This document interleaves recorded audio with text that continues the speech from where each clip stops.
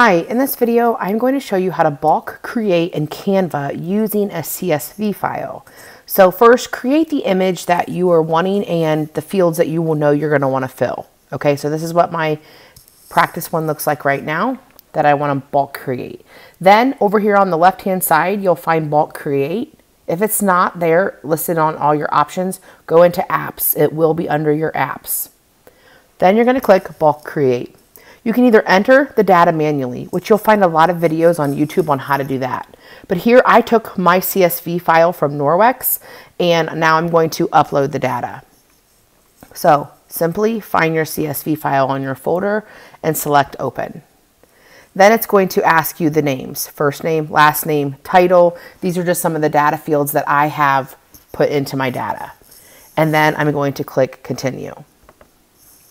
Right click on the element of the page to connect your page. So what I'm going to do is first name, Jennifer Bradley. So I'm going to come over here. I'm going to click the three lines over here. I'm going to connect the data and then it's that simple. Whoops, maybe if I can slide over correctly. First name. Then I'm going to come over here. This is the last name. Click the three dots. You can put any kind of data in that you want. Um, I have this is the kind of information that I'm going to just be showing you here an example for this. And here I'm going to add the title. Um, you don't have, like I said, these are just extra fields that I'm showing you how simple it is to add um, different fields onto this graphic. And then over here, I'm going to connect the data for the finances. And again, simply click connect data, personal sales. So my graphic is finally all set, ready to go. Um, there might be a little bit of error here with the sizing of that. So I'm going to spread that out a little bit there. Um, just a little bit on this side just to make sure that the data fits for how I want it to fit. Now everything's done. I've connected my CSV file to the boxes on my graphic Canva. And then I'm going to go ahead and click continue. And then it's going to show me all of the images that it's going to create for me. It's going to create 89 pages in about seconds. So I'm going to click generate and then your computer will automatically fill in a bulk edit in Canva. Over the years, my team and I, especially my leaders, help me put images into my Canva folders. So we have three different folders from like A to J, J to S, and S to Q or whatever, or Z. And then my daughter, that is a job that I pay my daughter who is 13 to do. So what she would do then is then she would come in over here on the side I have in projects. And then if you select your folders, you'll see that I already have my folders created with all of the consultants in there. So then she would basically very easily come in here to J to M, and then she would just, I, we have them saved as their names, so it's very easy to find and then she would come over here and move them in. And all you have to do is little click on the little three dots once you type in Jennifer. We just have a lot of Jennifers on our team, and then that way it fill it in. Okay, so then she goes through and manually adds in the pictures, but you can see right here very quickly then all 89 of these graphics are filled in and ready to go. We take personalization and recognition on our team very seriously and shouting people out. And so um, this is these graphics are very easy to grab.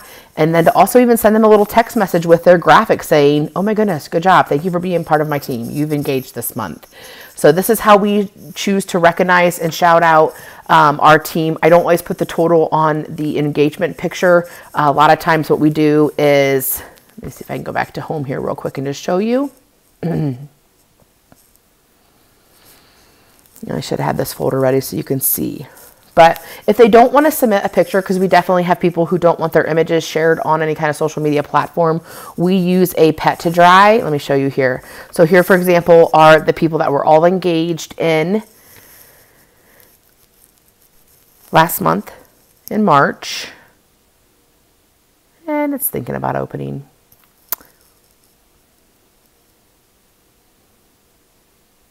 Sorry about the delay here.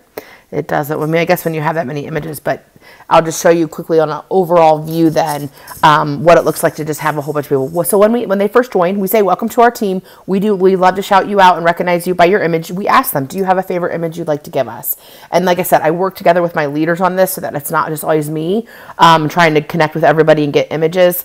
Um, and then we also, if, they, if they're engaged, and they just join and they don't really give us one. We don't really force it. But you can see here, Becky didn't want to do a photo, or maybe she was brand new and she hasn't submitted a photo yet. And so then that's when we will just drop in a simple um, pet to dry for her spot for an image. So a simple way to just, like I said, recognize, shout out. Again, that was a bulk editing in Canva. And if you haven't started yet with your images of your team, just start slowly and just focus on each month the ones that engage or the ones that have top sales and focus that way and start putting them into folders by ABC order. And then by their first name or last name, however you like to organize, we do first name here and then that way you have a folders ready to go in Canva. We do team on Canva, so I have five other leaders that are in this group with me, or four other leaders in this group that are with me. I'm the fifth one, I believe that's how that works. Um, and then they can also help put folders, images into the folders as well. So that's something that we love to do, and a very, very, very, very, very, very quick way on how to um, link your images, connect the data, and you know automate, as Debbie Bolton says. What can you automate in your business? Have a great day. Keep it joyful. Keep it clean.